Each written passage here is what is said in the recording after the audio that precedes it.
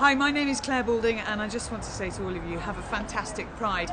I think love is the most important thing in life, and I want a world where we can all express our love, share our love, show our love, and that is a world in which equal marriage exists. So let's keep fighting in the right way for it and share the love.